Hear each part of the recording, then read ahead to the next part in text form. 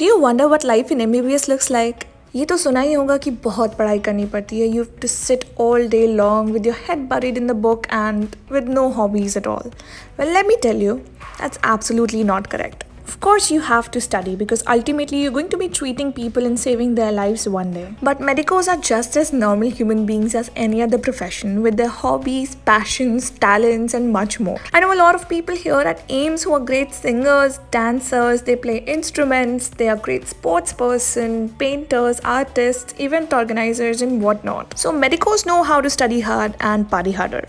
So, next time someone tells you MBBS life is boring, you know the better truth now.